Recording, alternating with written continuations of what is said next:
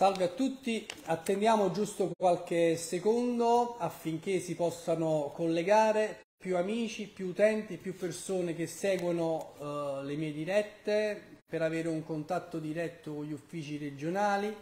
anche sulle attività che stiamo svolgendo in favore di tanti uh, lavoratori, di tante persone che ci scrivono quotidianamente. Abbiamo numerosi dossier su cui stiamo lavorando, abbiamo depositato una serie di interrogazioni regionali proprio in questi giorni per dare voce a tante persone che subiscono una serie di disagi, di disservizi sul territorio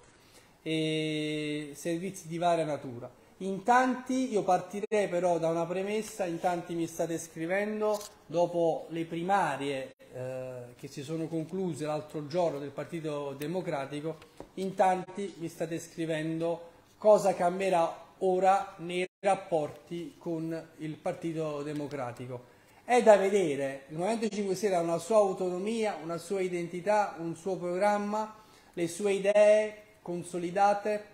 che conoscete tutti, le idee che abbiamo presentato ogni volta nelle varie tornate elettorali, abbiamo avuto modo di eh, far capire alle persone che, eh, in che modo siamo stati diciamo, efficaci quando siamo arrivati al governo nel trasformare quei punti programmatici in leggi che poi hanno soddisfatto le esigenze di tante fasce di persone. Penso al reddito di cittadinanza, penso ad opportunità importanti che abbiamo creato come il super bonus, penso a una serie di norme che hanno guardato sempre e prima di tutto la, il benessere collettivo, le necessità dei cittadini, specie di chi sta peggio, di chi vive delle difficoltà, dei lavoratori che stanno in lotta per il posto di lavoro, dei precari, dei disoccupati, insomma di tutti coloro che vivono un momento di difficoltà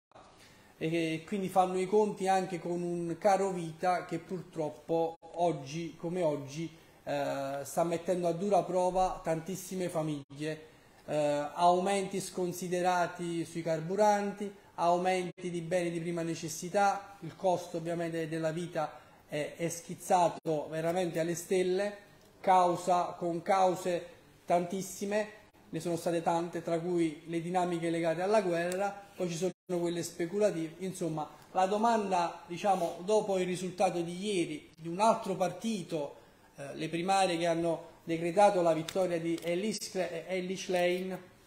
cosa cambia per il Movimento 5 Stelle? Cambia ben poco, bisognerà vedere cosa cambierà nel, nel PD insomma, eh, in termini di proposta politica, perché il PD è un partito, è un partito che negli ultimi anni abbiamo visto che si è allontanato vertiginosamente da quelli che sono i bisogni delle persone, da quelli che sono i punti programmatici e politici portati avanti dal Movimento 5 Stelle, portati avanti dal, dal Conte 2, quindi dal Presidente Conte quando avevamo eh, creato il governo insieme al PD, eh, abbracciando quella che poi è stata l'agenda Draghi, agenda che a quanto pare sembra essere nelle mani dell'attuale governo, il quale quando c'era Draghi eh, ha fatto l'opposizione, si fingeva essere opposizione e oggi diciamo, sembra, sembrano essere più draghiani di Draghi, perché smantellare il super bonus, cercare di smantellare il reddito di cittadinanza e tutte quelle leggi che hanno garantito opportunità, sostegno alle fasce più deboli, alle piccole e medie imprese, è un qualcosa veramente di allucinante che non trova alcun tipo di giustificazione. Noi ci stiamo facendo sentire a qualsiasi livello per arginare quella che può rappresentare una vera deriva per il paese, un paese che non se lo può permettere a maggior ragione che oggi, dopo una pandemia, abbiamo quantomeno strumenti validi che grazie al Presidente Conte possono giovare all'Italia. Penso al PNRR, penso a tanti strumenti su cui bisognerebbe lavorare per migliorare le leggi che hanno fatto diciamo, del bene al Paese e non certamente smantellare. Cosa cambia? Ecco, eh, bisognerà vedere su tante tematiche, per esempio sull'autonomia differenziata, bisognerà capire il nuovo segretario del Partito Democratico che cosa ne pensa. eh, su altri tasselli come per esempio il salario minimo, sul reddito di, sul reddito di cittadinanza, sul eh, terzo mandato per esempio a De Luca. Cosa cambia in Regione Campania? De Luca esce da questa tornata di uh, primaria nel PD molto ridimensionato, aveva sostenuto a spada Bonaccini, il quale ha perso. Quindi sarà interessante capire ora, anche a livello regionale, quanto Elish Lane potrà un vero cambiamento. O uh, diciamo cambiamento che naturalmente noi ci auguriamo non perché diciamo Uh, siamo affascinati da uh, ciò che può fare un altro partito perché noi nel Movimento 5 Stelle abbiamo le idee chiare, abbiamo il nostro programma, la nostra identità, come dicevo prima, ma ovviamente siamo molto attenti a ciò che accade nel perimetro che dovrebbe essere quello del centro-sinistra. Quindi se un rinnovamento può abbracciare altri interlocutori, ne può giovare soltanto il Paese, perché possiamo mettere finalmente al centro di un'agenda politica più allargata temi che ci stanno più a cuore. Penso alla transizione ecologica, penso al rispetto per l'ambiente, penso al lavoro, al salario minimo, a tutto quello che è nel nostro DNA e che eh, è, molte di queste norme, molti di questi diciamo, eh, pilastri che noi perseguiamo sono prettamente di centrosinistra, ma sono idee buone che eh, sono vicine alla gente. Quindi vedremo se questa figura nuova che il PD ha messo come segretario sarà veramente poi nei fatti di rottura rispetto a una serie di temi. Terzo mandato per De Luca, vediamo in che modo ecco, si schiererà il PD rispetto a questa situazione. L'augurio è che non sia l'ennesima, uh, l'ennesimo totem messo a, a, capo di un partito che poi nei fatti cambia uh, poco o niente rispetto a quello che è stato uh, ciò che, a cui abbiamo assistito e abbiamo visto in questi mesi. Questo è diciamo, un augurio per intavolare un dialogo allargato anche diciamo, con altre forze politiche. Uh, la Campania vive un momento di difficoltà globale, basta farsi un giro in quello che è, eh, diciamo, uh, per esempio, il trasporto pubblico, di quelli che sono gli ospedali, di quelle che sono anche le strutture sanitarie, eh, di quello che sta accadendo sul settore sanitario. I settori trainanti di competenza diretta della Regione Campania, di gestione diretta della Regione Campania, sanità e trasporto pubblico. Eh, basta fare un'analisi su ciò che accade in questi settori per capire che non siamo messi bene, al di là delle chiacchiere e delle, dei, dei, degli annunci che vengono fatti reiteratamente da De Luca eh, eh, diciamo sulle televisioni, ciò che accade è ciò che i cittadini eh, poi eh, diciamo, possono toccare con mano quando poi si rapportano a, a, a questi settori, sia a quello sanitario che riguarda la salute, il diritto alla salute, l'accesso agli ospedali, l'accesso alle cure e ciò che noi stiamo facendo in Campania proprio su questo aspetto eh, è qualcosa di veramente grosso, un lavoro grandissimo fatto di denuncia, fatto di sollecitazioni eh, al governatore a sbrigarsi su una serie di situazioni che riguardano il settore sanitario. Penso per esempio ai tanti che attendono una stabilizzazione e sono bloccati nelle graduatorie eh, attive in tanti diciamo, eh, mansioni, penso agli operatori sociosanitari, penso agli infermieri, penso ai medici. La Campania è in sottorganico per quanto riguarda queste figure. Negli ospedali abbiamo bisogno di più medici, di più infermieri e di più operatori sociosanitari. Abbiamo delle graduatorie attive di persone che hanno superato già diciamo, un concorso pubblico risultando idonei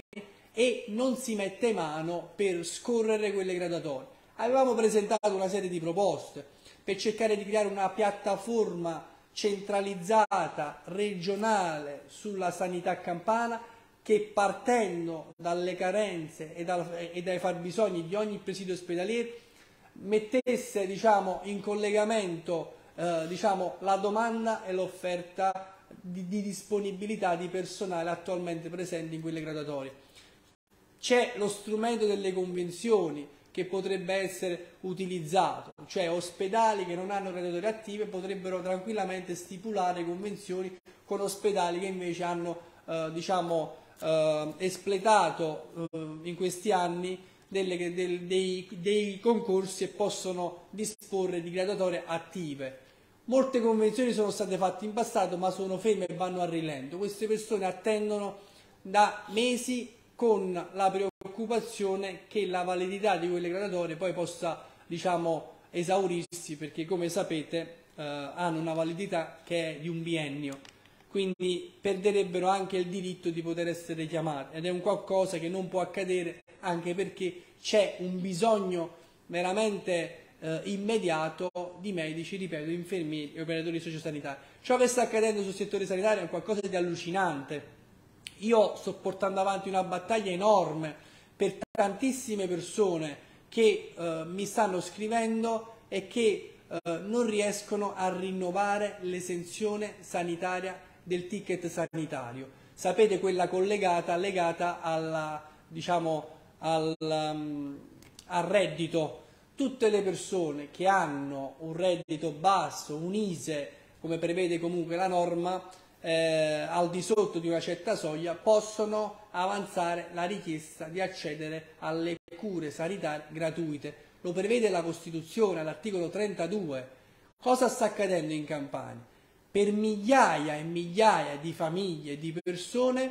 le ASL non stanno dando la possibilità a questi signori, pur avendo uh, i, i, i, requisiti, di poter accedere all'esenzione sanitaria dei ticket perché gli viene eh, contestata a queste persone uh, il pagamento, il recupero di cifre di sanzioni di recupero ticket che risalgono anche a dieci anni prima, assurdo, fino a dieci anni prima. La cosa che ci stanno però scrivendo è che in questo lungo lasso di tempo non hanno mai ricevuto dalle ASL, eh, dalle, dagli organi competenti, né avvisi né notifiche nei termini di legge che avrebbero consentito quantomeno a queste famiglie di provvedere risolvere e pagare magari se devono pagare quelle somme ma questa situazione tecnicamente non può impedire una famiglia di poter accedere all'esenzione, quindi all'accesso gratuito delle cure. Intanto tu rinnovi quella che è la necessità, il diritto di poter accedere alle cure e poi si va a vedere se ti devono pagare il pregresso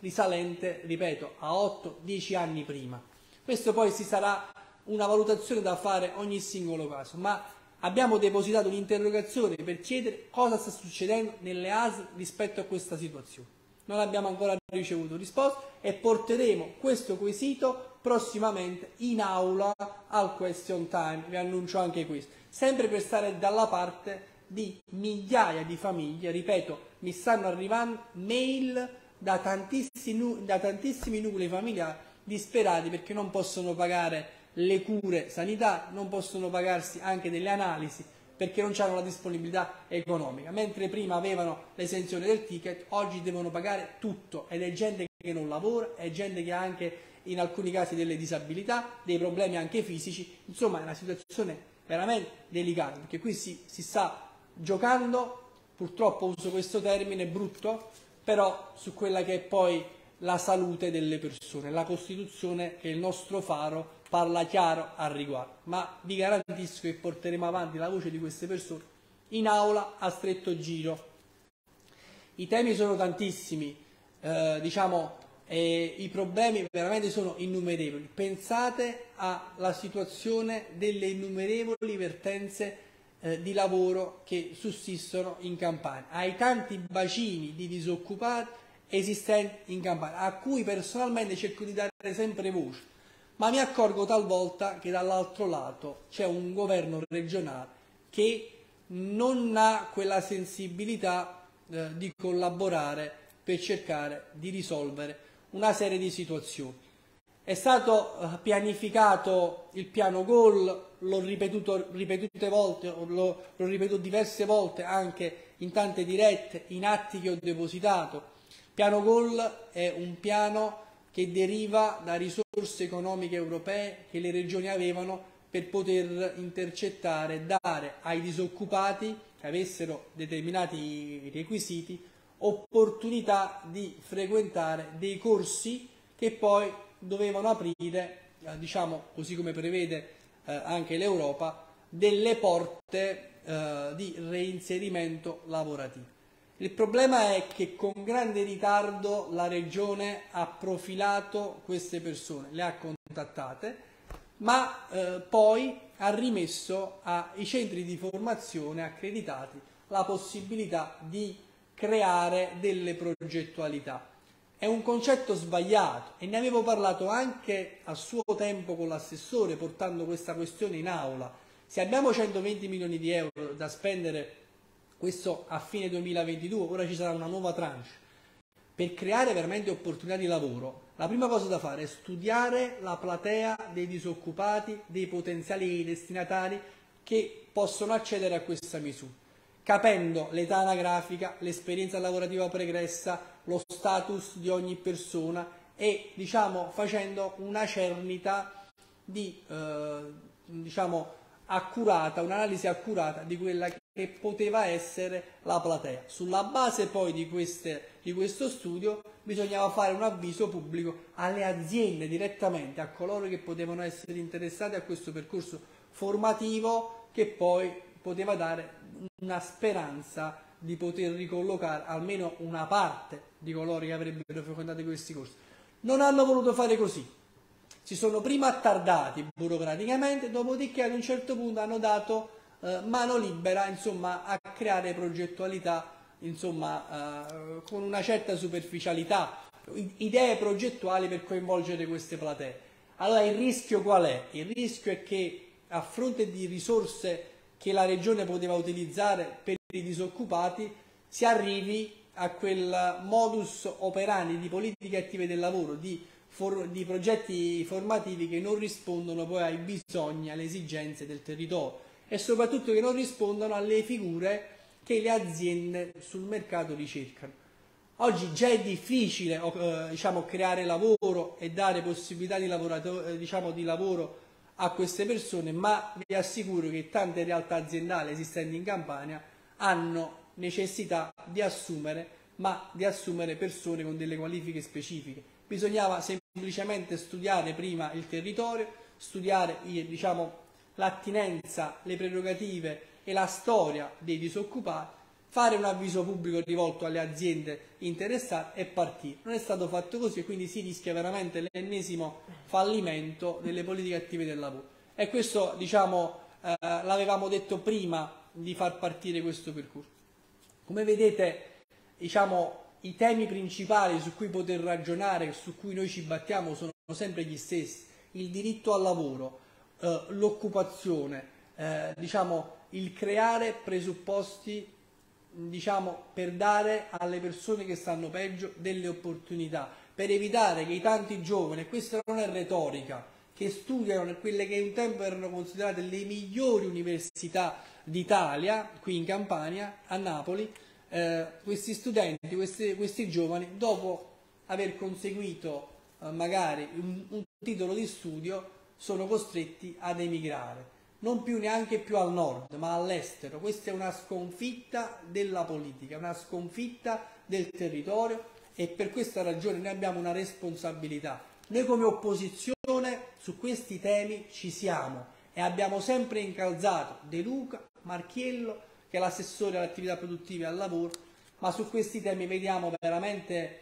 una, diciamo, una stasi, un immobilismo che ci spaventa. Noi portiamo proposte, portiamo eh, interrogazioni, diciamo, cerchiamo di pungolare l'amministrazione anche mettendoci in una posizione collaborativa, ma spesse volte da, dall'altro lato ci accorgiamo che eh, spesse volte c'è poca attinenza, sensibilità e volontà a voler risolvere le cose. L'ultimo, eh, diciamo, l'ultima platea a cui abbiamo dato voce, lo, lo, avrete visto in questi giorni, vi invito comunque a seguire sempre la mia pagina, i miei canali YouTube, Instagram, insomma dove ho un contatto diretto con voi, con tutte le persone che mi seguono, ultimamente, ma giusto per darvi l'idea di quanto vi sia una diciamo, assuefazione da parte di questa giunta regionale a quelli che sono i temi del lavoro, noi abbiamo 147 lavoratori contrattualizzati in Regione Campania che erano ex lavoratori socialmente utili che grazie al Movimento 5 Stelle hanno avuto la possibilità di essere stabilizzati negli enti pubblici dove già erano in dotazione. Ebbene, la Regione Campania a questi signori gli ha stipulato un contratto a 10 ore a settimana, cioè percepiscono 380 euro al mese, cioè di, parliamo di dipendenti pubblici della Regione Campania. Questa è una cosa vergognosa. Abbiamo dato voce anche a queste persone facendo una serie di atti dallo scorso dicembre quando portai in aula un impegno rivolto alla Giunta.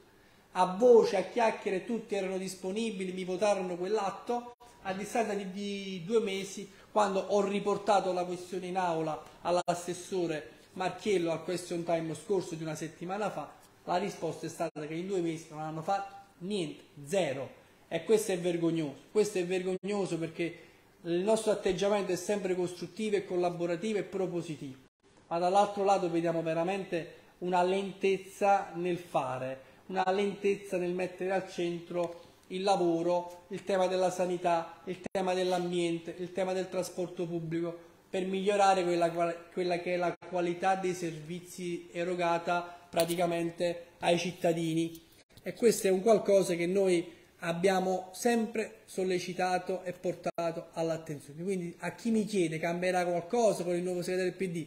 vedremo nei prossimi giorni se è diciamo, uh, l'ennesimo bluff di un partito che ormai eh, si è allontanato da quelle che erano le esigenze dei cittadini e dei lavoratori e dai temi che noi portiamo avanti, oppure se c'è un rinnovamento della classe dirigente, ma lo scopriremo soltanto vivendo. Quindi eh, i dubbi ci sono, non vi nascondo che sono forti, però noi andiamo per la nostra strada, abbiamo la nostra azione politica, siamo tutti i giorni con le persone, con i lavoratori, io ricevo decine di persone al giorno e mi portano tantissimi problemi, tantissime cose su cui lavorare. Spesse volte ci ingolfiamo di situazioni perché ovviamente non è facile poi ogni atto che andiamo a fare è frutto di uno studio, di un'analisi nel contempo sto girando tantissimo come Presidente della Commissione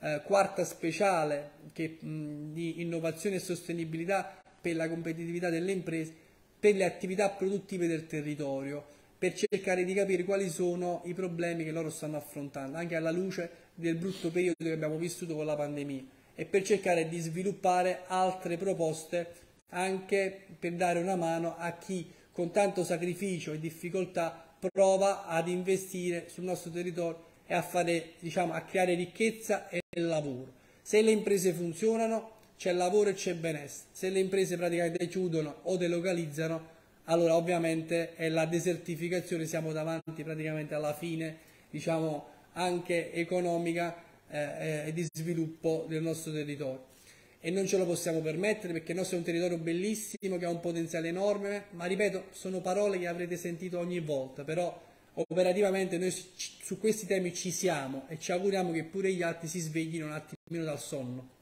Io come sempre vi saluto, sono stato abbastanza prolisso, ci tenevo a fare questo chiarimento perché mi avete scritto in tanti per sapere diciamo, qual è la posizione del movimento rispetto al PD. Siamo opposizioni in Regione Campania e resteremo opposizioni capiamo se questo è un partito che si rigenera o è un partito sempre ancorato alle, alle solite eh, ai soliti centri anche di potere politico oppure no. Eh, sui temi ci siamo, se si aprono spiragli per parlare di lavoro, di ambiente, di trasporto pubblico e di sanità, noi ci siamo, abbiamo le proposte, però vogliamo anche poi arrivare a, a dei risultati, altrimenti non cambierà mai niente per i nostri concittadini. Vi saluto e vi invito a condividere questa diretta, siete sempre in tanti a seguire le mie dirette, eh, questo è un canale per me fondamentale per arrivare a un numero maggiore di persone e quindi l'informazione rende il cittadino libero, noi facciamo prima di tutto informazione delle cose che facciamo e delle cose che accadono. Vi invito quindi a condividere questa diretta, a seguire la pagina e anche il mio canale YouTube e, e Instagram. Vi ringrazio e vi auguro buon pomeriggio.